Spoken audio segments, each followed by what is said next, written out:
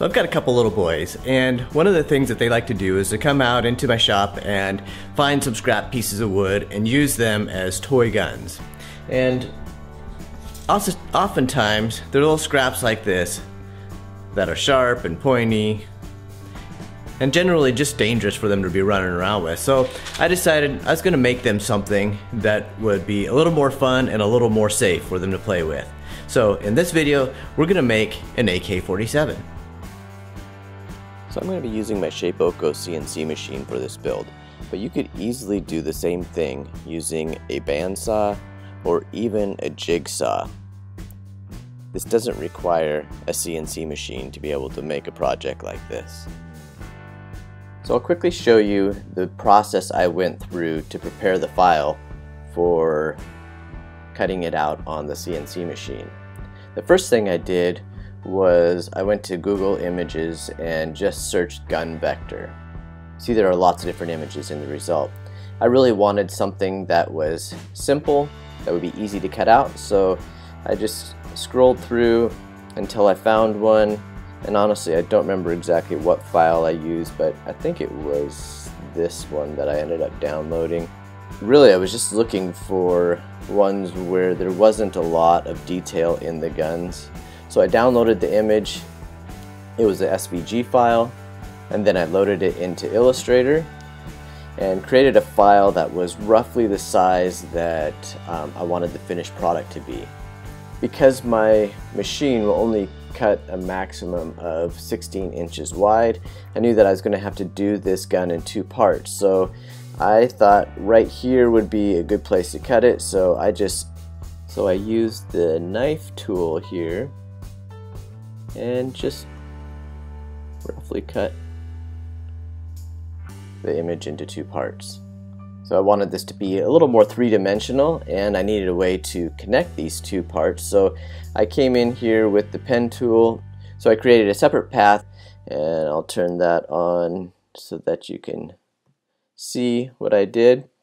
So my plan is to cut out two of these, one on either side, glue it together and it will hold the two pieces together.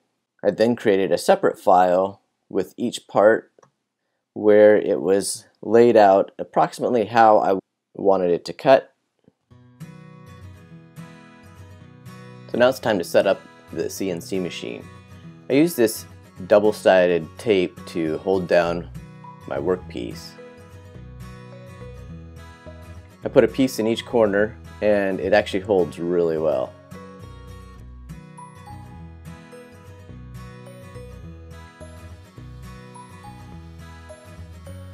And then it's time to start cutting.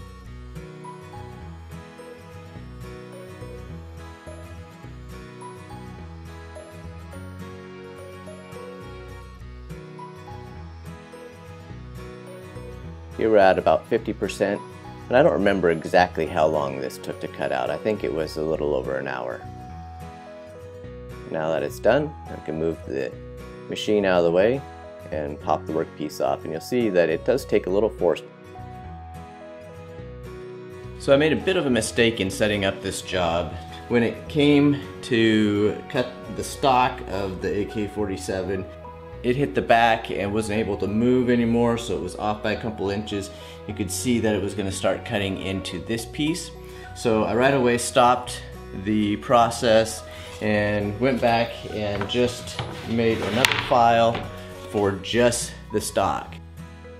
Next I sanded each piece a little bit just to knock off the burrs from, left over from the CNC machine and then I could cut out all the pieces where the tabs were holding it onto the piece of plywood.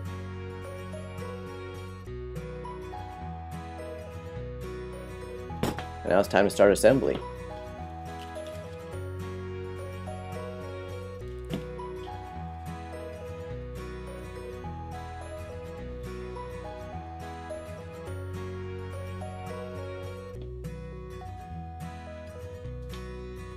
Use the brad nailer just to hold it together.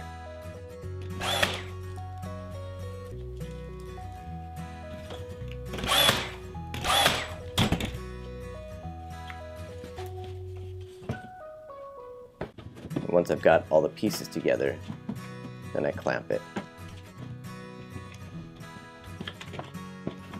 Once the glue is dry, I sanded it down with some 220 and I'm going to spray paint it black.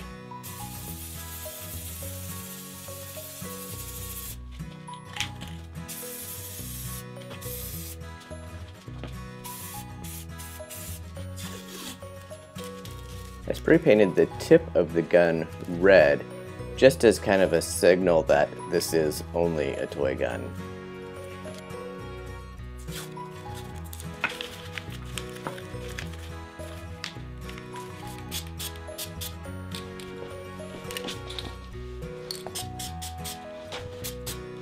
then I finish it with some polyacrylic